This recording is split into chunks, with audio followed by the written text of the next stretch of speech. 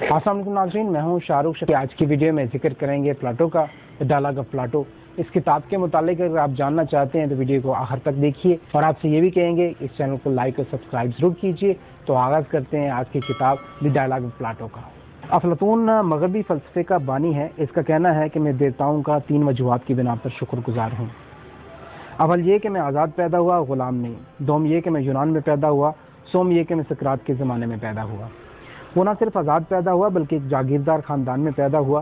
جاگیردار کی حیثیت سے اس کا باپ ایتھنس کی ان بنیادی شرفا میں سے تھا جو کہ حکومت میں کلیدی کردار ادا کرتے تھے، جبکہ اس کی ماں ایتھنس کے امیر ترین خاندان سے تعلق رکھتی تھی۔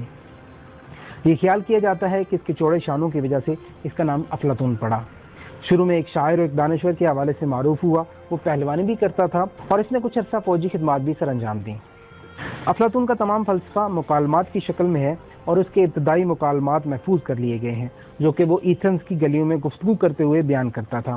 افلاطون کی جب سکرات سے ملاقات ہوئی، تو وہ اس سے بہت متاثر ہوا۔ اس نے اپنی تمام شاعری کو جلا دیا اور شاعروں کے متعلق اپنی جمہوریہ یعنی ریپبلک میں اس نے بیان کیا کہ یہ شاعر ریاست کے لیے غیر مفید ہیں اور ریاست میں شاعروں کے لیے کوئی گنجائش نہیں۔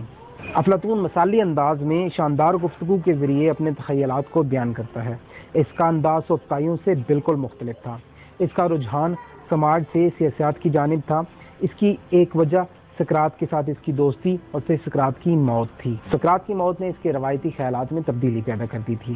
افلاطون سکرات کی موت سے بہت متاثر ہوا، جس سے افلاطون کو ایتھنس والوں اور ایتھنس کی جمہوریت سے نفرت ہو گئی۔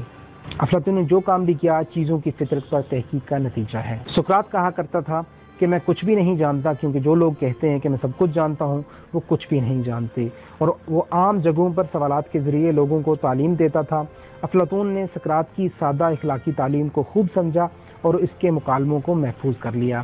سکرات کی موت کی ذمہ دار وہ روایت پرست تھے جو پرانے عقائد اور نظریات میں تبدیلی کو گناہ سمجھتے تھے۔ سکرات کے دوسرے بڑے دشمن سوفستائز تھے۔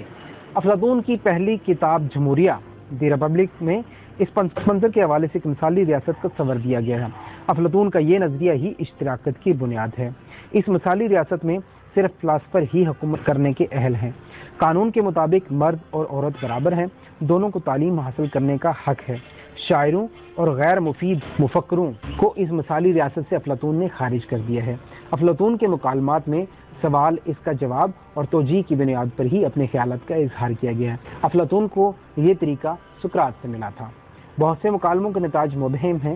اس میں سکرات کا مکالمہ جو جرت و بہادری کے موضوع پر ایک جرنیل سے کیا جاتا ہے، ایک عام سپائی سے کیا جاتا ہے۔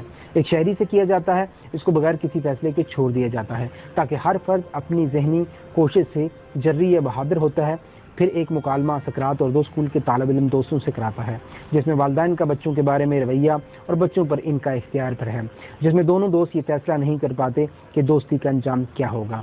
اس مکالمہ میں اس بات کی طرف اشارہ ہے کہ اچھائی یا برائی کوئی اہمیت نہیں رکھتی جب تک اچھائی کے مقابلے میں برائی نہ ہو۔ ایک شاندار مکالمہ پروتاگوس، جو کہ ایک ذہین سوستائی ہے اور سکرات کے درمیان علم کی فضیلت کے بارے میں ہے، جس پر دونوں بحث کرتے ہیں۔ فیدرس اور سکرات ایتھن سے باہر چلتے چلتے محو گفتگو ہیں اور ایک گھنے سایہ دار درخت کے نیچے بیٹھ جاتے ہیں۔ فیدرس اپنے چوگے میں سے ایک سوستائی کی تحریر نکالتا ہے اور اسے پڑھ کر اس کی تعریف کرنا شروع کر دیتا ہے۔ ان کا موضوع گفتگو خوبصورتی ہے۔ سکرات اپنی بحث میں ثابت کرتا ہے، خوبصورتی خدا کی روح ہے اور اس کو انسان کی خواہش میں رکھ دیا گیا ہے اور پھر خوبصورتی سچ اور دانائی ہے۔ سکرات سوستائی کو قائل کر لیتا ہے۔ افلاطون کے مکالمات میں یہ مکالمہ سب سے خوبصورت، جاندار اور شاندار ہے۔ سکرات علم کو نیکی کرا دیتا ہے۔ جیوٹ، جو کہ کلاسیکل ادب کا ایک عظیم مفکر ہے، اس نے افلاطون تمام کتب کا ترجمہ کیا ہے۔ کہتا ہے کہ افلاطون کے نظریات کی بنیاد حقیقت اور سچ پر ہے۔ اس لیے افلاطون نے تخیلاتی اور تصوراتی دیوتاؤں کے وجود سے انکار کیا، جو اس وقت کی اسلام پرستی کی بنیاد تھے۔ افلاطون کے بنیادی اصول اب بھی جدید فلاسفر اپناتے ہیں۔ افلاطون نے پھر اونی اسراریاتی تصورات کو بھی عقل کے منافی قرار دیا۔ افلاطون کے فلسفیانی نظریات فلسفے کی ہر دور میں بنیادی حیثیت رکھتے ہیں۔ افلاطون کا فلسفہ بنیادی طور پر فلسفہ اخلاقیات ہے۔ اس کے مطابق انسان ایک مکمل تخلیق ہے، لیکن انسان اپنے حصیات کے مطابق اپنے اندر کمی محسوس کرتا ہے۔ اگر وہ قانون فطرت کو سمجھ لے تو مکمل طور پر خوش رہ سکتا ہے۔ اور امید ہے آپ کو یہ کتاب کے کرکس پسند آئے ہوں گے۔ اگر آپ کو یہ کتاب کے کرکس اچھے لگے تو آپ اوریجنل کتاب خریدیے اور اس کو پڑھیے کہ کون کون سے مکالمات کن کے درمیان تھے۔ تو آج کی آج کی ویڈیو میں بس اتنا ہی۔ جاتے جاتے آپ سے دوبارہ ضرور کہیں گے۔ اگر آپ نے ہمارے چینل کو سبسکرائب نہیں کیا تو اس کو سبسکرائب کر لیں اور اس کو دوسروں تک شیئر ضرور کریں۔ جلد ملتے ہیں ایک نئی ویڈیو کے ساتھ۔ اپنا بہت سارا خیال رکھیے گا۔ اللہ نے کہبان